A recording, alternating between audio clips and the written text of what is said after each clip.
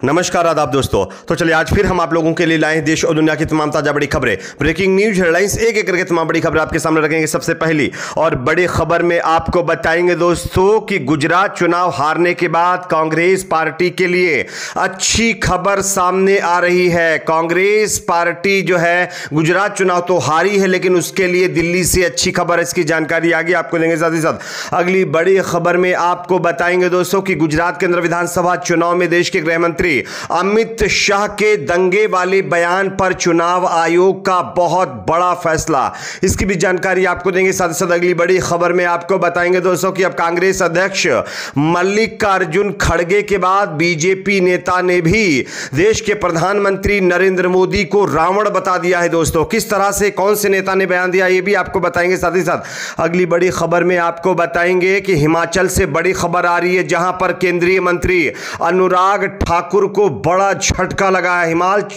हिमाचल, चुनाव हारने के बाद जो अनुराग ठाकुर अपना बूथ तक नहीं बचा पाए हैं। किस तरह से इसको लेकर के नया डाटा सामने आया, जो आगे हम आपको दिखाएँगे साथ ही साथ अगली बड़ी खबर में।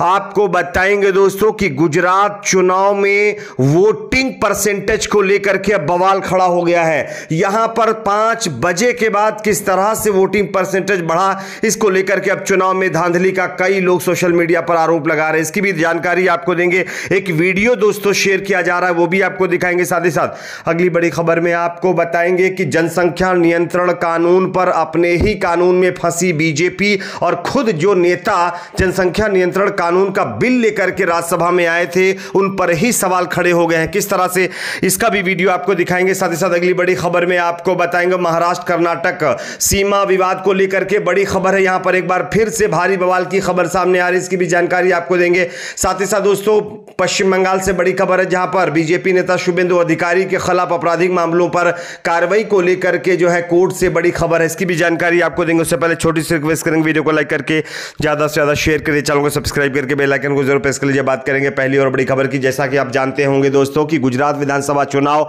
और दिल्ली एमसीडी चुनाव कांग्रेस पार्टी हार गई, लेकिन इन दोनों राज्यों में चुनाव हारने के बाद हिमाचल प्रदेश चुनाव कांग्रेस पार्टी ने जीता। लेकिन इसी बीच खबर आ रही है दोस्तों की दिल्ली के एमसीडी चुनाव नतीजे आने के बाद कांग्रेस पार्टी के लिए अच्छी खबर सामने आ रही है।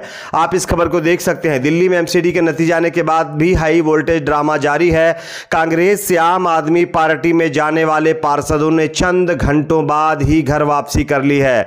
दिल्ली कांग्रेस के उपाध्यक्ष अली मेहंदी और साथ दोनों पार्षदों को लेकर के वापस आ गए हैं। उन्होंने ऐसा करने के लिए माफ़ी भी मांगी है। दरअसल कांग्रेस के दिल्ली इकाई के उपाध्यक्ष अली मेहंदी शुक्रवार को अपने साथ पार्षद सबीला बेगम और पार्षद नाजिया खातून को लेकर के आम आदमी पार्टी में शामिल हो गए थे।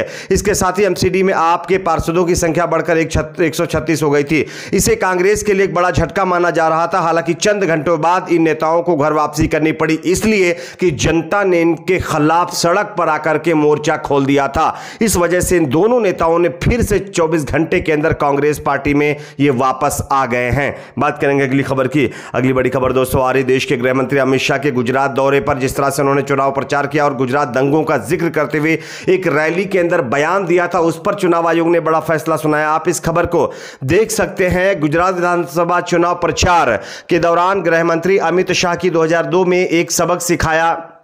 वाली टिप्पणी को चुनाव आयोग ने गलत नहीं माना है। यानी कि देश के गृह मंत्री अमित शाह ने कहा था कि गुजरात में दंगे बहुत हो रहे थे, लेकिन 2002 में हम उन दंगाइयों को हमने जो है सबक सिखाया। उसके बाद से यहाँ पर जो है दंगे नहीं हुए हैं। और इसको लेकर के लोग सोशल मीडिया पर कह रहे थे कि देश के गृह मंत्री अमित शाह दो हज़ार दो में जब दंगे हुए थे, उसका ज़िक्र कर रहे यानी कि जब ये कह रहे हैं कि हमने लोगों को सबक सिखाया तो क्या तो क्या इन्होंने ही दंगा करवाया था?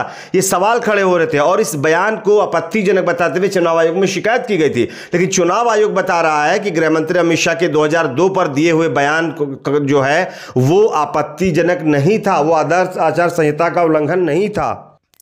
चुनाव आयोग ने माना कि इस टिप्पणी के कारण आदर्श आचार संहिता का उल्लंघन नहीं हुआ है, इस तरह का बयान चुनाव आयोग की तरफ़ से आया है।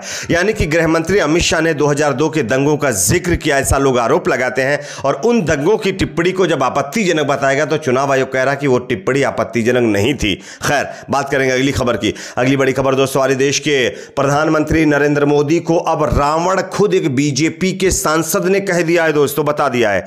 आप इस खबर को देख सकते हैं। खबर यह है कि कांग्रेस अध्यक्ष मल्लिकार्जुन खड़गे के बाद भारतीय जनता पार्टी के नेता ने भी पीएम नरेंद्र मोदी को रावण कह दिया है और रावण से उनकी तुलना कर दी है। वरिष्ठ भाजपा नेता सुब्रमण्यम स्वामी ने कहा है कि रावण जैसे मोदी धार्मिक होने का दावा करते हुए मंदिरों को तोड़ रहे हैं या उन पर कब्जा कर रहे हैं। सुब्रमण्यम स्वामी ने अपने ट्विटर अकाउंट पर शनिवार को लिखा, रावण जैसे मोदी धार्मिक होने का दावा करते हुए मंदिरों को तोड़ रहे हैं या कब्जा कर रहे हैं। जैसे कि वाराणसी में, उत्तराखंड में। अब हम देख रहे हैं कि वह फडणवीस के साथ जो है पढ़रपुर के पवित्र स्थलों को नष्ट करने की योजना बना रहे हैं। इसलिए मैं इस नरसंहार को रोकने के लिए जल्द ही मुंबई में हाईकोर्ट का दरवाज़ा खटखट खटखट, जो खटखटा रहा हूँ। यानी कि प्रधानमंत्री नरेंद्र मोदी को मल्लिकार्जुन खड़गे के बाद खुद सुब्रमण्यम स्वामी, जो बीजेपी के सांसद हैं, उन्होंने रावण से उनकी तुलना कर दी है। बात करेंगे अगली खबर की। अगली बड़ी खबर दोस्तों, हिमाचल से सामने आ रही है, जहाँ पर विधानसभा चुनाव हारने के साथ साथ जो है, बीजेपी सरकार में, मोदी सरकार में केंद्रीय गृह मंत्री मंत्री अनुराग ठाकुर को बड़ा झटका लगा है। देश के गद्दारों को डैश डैश डैश नारा देने वाले अनुराग ठाकुर हिमाचल विधानसभा चुनाव में एक भी विधानसभा चुनाव अपने क्षेत्र की नहीं जितवा पाए हैं। यहाँ तक की खबर है कि अनुराग ठाकुर जो है अपना बूथ तक नहीं बचा पाए आप इस खबर को देख सकते हैं।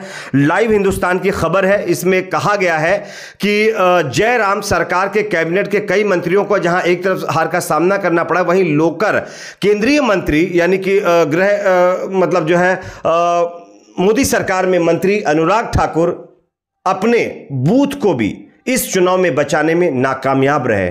तो आप समझ सकते हैं कि किस तरह से ये चुनाव बीजेपी हारी है। लेकिन मीडिया में इसकी कोई चर्चा नहीं है। बात करेंगे अगली खबर की।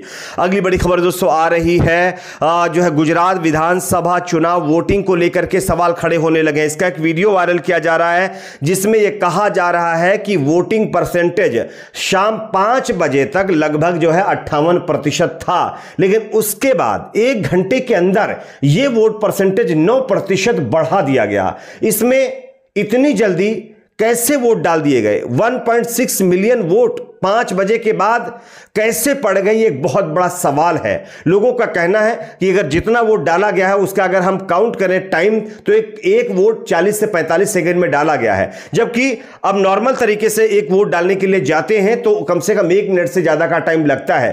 तो ये 40-40 सेकेंड में एक एक वोट कैसे पड़ा, ये एक बहुत बड़ा सवाल यहाँ पर जो है बनकर सामने आ रहा है। अब देखना होगा कि इस पर क्या होता है, लेकिन सोशल मीडिया पर लोग गुजरात चुनाव में जो वोटिंग परसेंटेज आया था, उसको लेकर के सवाल खड़े कर रहे हैं। बात करेंगे अगली खबर की। अगली बड़ी खबर दोस्तों आ रही है। जनसंख्या नियंत्रण कानून को लेकर के बीजेपी के नेता अपने ही बयानों पर अपने ही कानून में फंस गए। किस तरह से पहला अब ये बयान सुनिए उसके बाद इसकी चर्चा करेंगे। मैं इस पे कहना चाहता हूँ कि अगर पीछे मान लीजिए कुछ गलतियाँ हो गई इसका मतलब तो ये नहीं कि हम आगे भी गलतियाँ करते रहेंगे। हमारे देश का फ्यूचर हम कहते हैं ना कि कभी तो जागना पड़ेगा। नहीं गलती नहीं रह लो उनकी गलती ना कहा कांग्रेस नहीं अगर बिल लाती हाँ, हमको हाँ, मालूम होता कांग्रेस लॉ रहता तो हम नहीं करते बच्चा भाई। कहा गलती बोला।